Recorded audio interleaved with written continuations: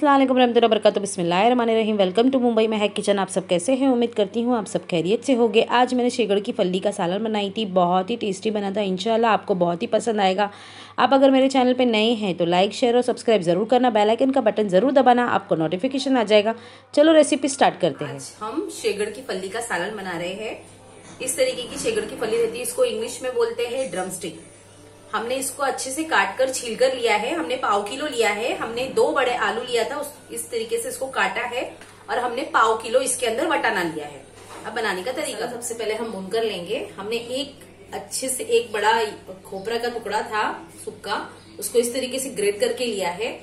और हमने one table spoon धनिया अक्खा लिया है और जीरा लिया है वन टेबल स्पून अभी ये डाल देंगे और इसको अच्छे से हम भून कर लेंगे। एकदम ऐसे एकदम लाल नहीं करना है, बस लाइटली उसको भूनना है। अब दो सेकंड के लिए हमने अच्छे से इसको भून के लिया है। बस इस तरीके से ही भूनना है। एकदम लाल नहीं करना है। देखो कलर कैसे आ गया है। बस अभी हम एक प्लेट में निकाल लेंगे इसको और ठंडा कर लो। इसको हमने एक प्लेट में निकाल दिया जो आपको भून भूनकर दिखाए।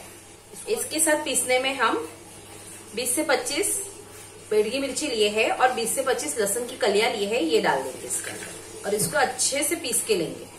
अब हमने एक जार लिया है। अभी जो मसाला आपको दिखा है, भून कर लिए हमने, अब ये डाल देंगे इसके अंदर। अभी हमारा मसाला अच्छे से ठंडा हो गया है। ठंडा ही करके पीसने का, नहीं तो फिर मिक्सर का जार खराब हो जाएगा। अब हमने मसाला पीस के लेकर आया है, एकदम स्मूथली पेस्ट बनाया है इसको। अब हमने चार टमाटर लिया है, इसको इस तरीके से काटा है, ये डाल देंगे इसके अंदर। और अभी हम इसके अंदर एक मैजिक मसाले का पैकेट डालेंगे। इससे बहुत ही अच्छा टेस्ट आता है। अगर आपको ये नहीं डालना है तो आप एक मैगी क्यूब की भी ट्यूब डाल सकते हैं इसके अंदर। अब ये मैजिक मसाला डाल रही हूँ मैं। और इसको अच्छे से हम स्मूथ पेस्ट बना के लाएँगे। अभी हमारा मसाला पीस कर रेडी है। अब हम, हमने टू सर्विंग स्पून ऑयल लिया है। अभी अच्छे से गर्म हो रहा है। हमने एक बड़े कांदे को इस तरीके से काट के लिया है अच्छे से बारीक। और अभी इसके अंदर डाल देंगे और इसको गोल्डन ब्राउन करेंगे। अब कांदा अच्छे से गोल्डन ब्राउन हो गया है। अब ये जो मसाला पीस के लाए हैं, ये डाल देंगे इसके अंदर। और इसको अच्छे से हम भून कर लेंगे। स्लो फ्लेम पर हम इसको कम से कम 10 से 15 मिनट भून कर लेंगे। इसमें हम स्वाद अनुसार नमक डालेंगे। अब हाफ़ टी स्पून हम हल्दी डालेंगे। इसमें हल्दी नहीं डाले थे हमने अब ये हल्दी डालेंगे। इसको ढककर हम 15 मिनट भूनेंगे। इतना भूनेंगे कि तेल अच्छे से रिड्यूस हो जाए इसके ऊपर। मसाला हमने 15 मिनट अच्छे से भून लिए इसको। अब हम इसमें जार में जो पानी लगाया, हमने एक गिलास पानी लगाया, ये डाल देंगे इसके अंदर और इसको और अच्छे से हम पकाएँगे। और इसको 10 मिनट हम पकाएँगे अच्छे से। जब तक तेल इसके ऊपर रिड्यूस नहीं होता तब तक हम पकाएँगे। ढककर पकाएँगे 10 मिनट। माशाल्लाह, अच्छे से तरी आ गई है। अब हम ये जो शेगर की फली है, ये डाल देंगे इसके अंदर।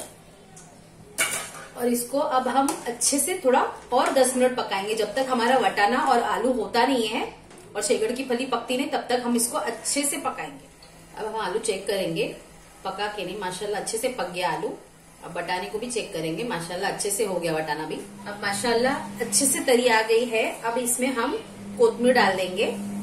शेगड़ की फली का सालन बनकर रेडी है। अब हम डिश आउट करके आपको बताते हैं। की फली का सालन बनकर रेडी है। अगर मेरी रेसिपी आपको अच्छी लगती हो तो लाइक करो शेयर करो सब्सक्राइब करो बेल आइकन का बटन दबाओ।